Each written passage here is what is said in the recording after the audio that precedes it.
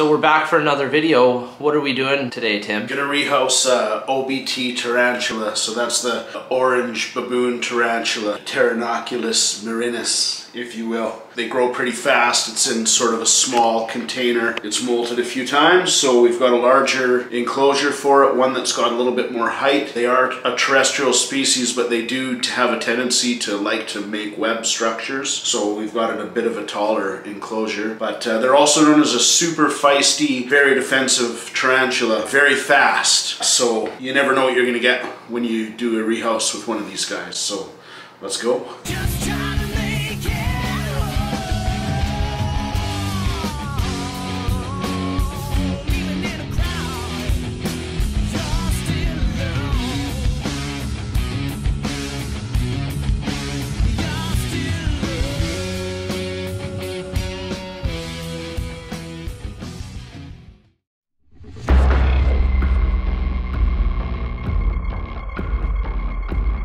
So I got a couple of catch cups. My game plan here is literally to evict this guy out of here into the bathtub more or less and try to scoop him into the cup and get it into there. I might try to get it to, to go from one to the other, but this this guy's super defensive already. It's throwing threat poses and shit, so we'll see how it goes here get a good look at this guy. Super, super awesome looking tarantula. So like Tim said before, this spider, kind of scary. They're aggressive and that's why we got it in the bathtub because if this thing decides to get out, um, it'll be kind of sketch. So anyway, I'm gonna show you a little bit of like what this thing looks like with a nice light on. So here we go. You can see the starburst pattern on the abdomen or on the carapace. These guys are super fast, prone to bite. I should be using a brush in all, in all honesty.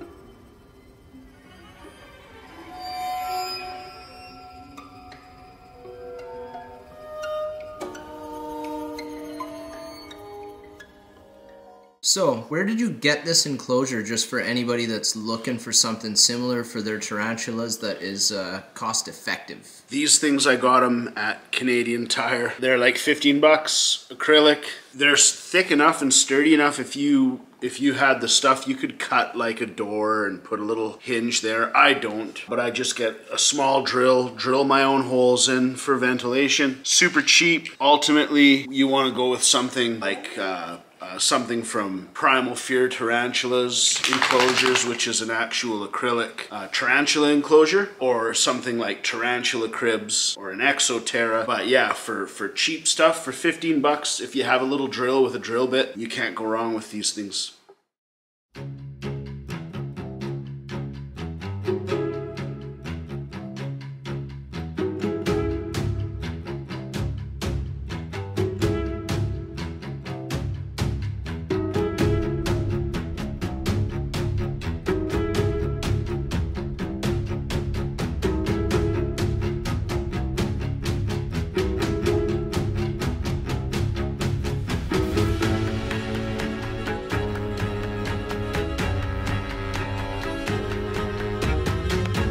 So we got some new uh, some new enclosures from Primal Fear Tarantulas. Uh, these guys are in Manitoba in Canada. So that's awesome because it's hard for us to find stuff. And uh, looks like orders over $200 they ship for free. So yeah, these are great little enclosures. They, they got magnetized tops that just like click into place, multiple openings. These are just the little sling cubes, so just for the little baby guys. But yeah, great, they look awesome. And we got some rehousing to do. So we're gonna do a rehouse of the uh, Cyriopagopus. Hold on, I'm just gonna look.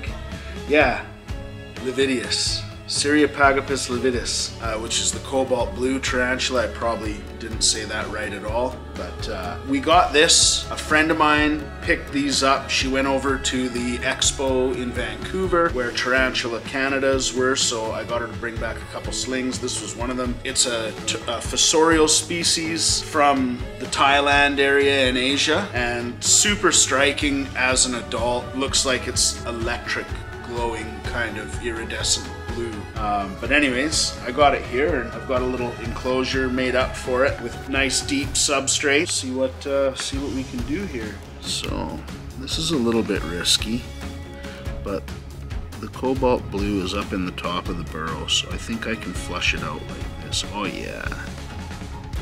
I might get lucky. I literally might be able to just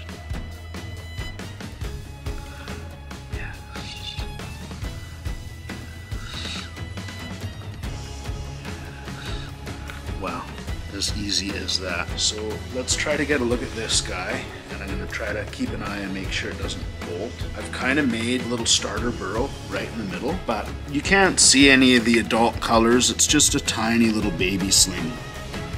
But man, these things just look unreal. We'll try to throw a shot of one as a mature adult female. That's of course the plan, is to get one of those. But uh, I would say that this guy is probably soon going to find its way to the hole in the center and dig a nice burrow down there. And we probably won't see it very often, but when we do, it'll be rewarding. Got a little curly hair tarantula, so same deal. Got it, it's just a tiny little baby. Oh, right up at the top. Come on out. Just take a quick little look. Handle at your own risk. See how tiny this guy is.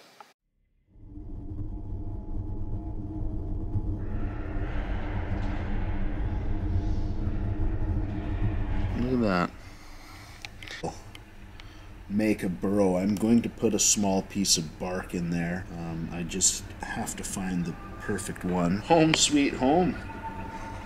So we got the A geniculata, the Brazilian giant white knee, if you will. It's got about like 15 different nicknames. This sucker gets really big, like can get up to 8 to even 10 inches diagonal leg span. This one is very, very far from it. Molted uh, about a week ago. I can see the molt in there and I can see the little guy there ready for a new house. It's pretty small away we go. I'm just gonna take this molt out of here. There's actually two molts in there.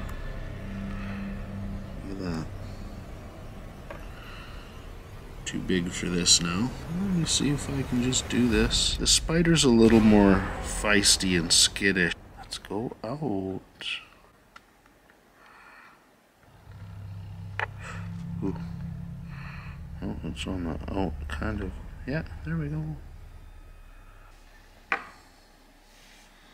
These guys at this size are going to burrow down into that substrate. We got it nice and deep for them. I suspect that it's going to be up hanging around for too long. So this is a really special sling. It's a Caribena versicolor arboreal species. It likes to kind of live in the trees a bit. It's a little small. This is a little big, but I'm going to go for it. I, I think that uh, this tea is going to be fine. Webs up immensely in there and yeah, it makes its home right in the top here. I just got this last week and I would rather put it in this enclosure where I can open the top or open the side rather than one where I'm restricted to only open the top because I know that this one will go up high and make its nest up there and yada yada. This is a amazingly beautiful tarantula. Let's uh, have a look and see. Super nice blue almost sparkly. And they change color quite a bit. They turn to like a really iridescent purple and green color as a mature specimen. Uh, but I'm gonna see if I can just gently coax her out into this wonderful world that we have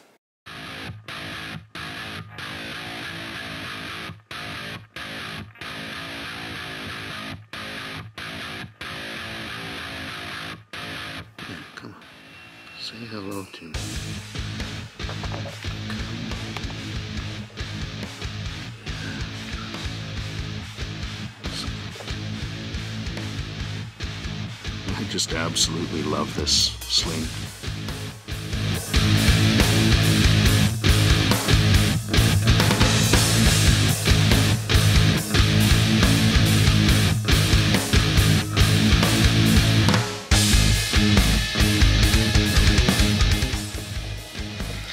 Feeling rather adventurous, are we, Aphonopelma? So this is our lovely little Aphonopelma Hentzi, the Oklahoma Brown. And she's a great tea. She's nice and curious and inquisitive and moves around a lot. You can handle her. She can be a little bit skittish and standoffish, but I don't really handle the tarantulas, but this is one that I specifically got because I know that I could. Yeah, she's been a lot of fun. Real beautiful. And welcome home.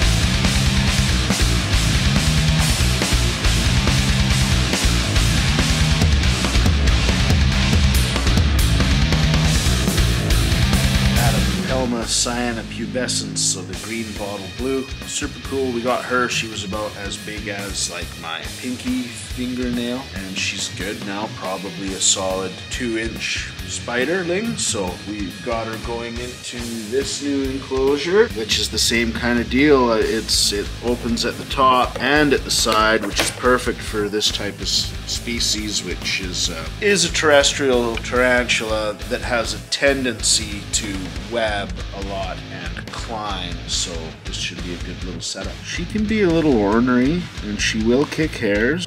Well, that worked out kind of cool. Just to show how strong that is. Yeah, yeah, holds it all together. I'm just gonna try to gently evict her.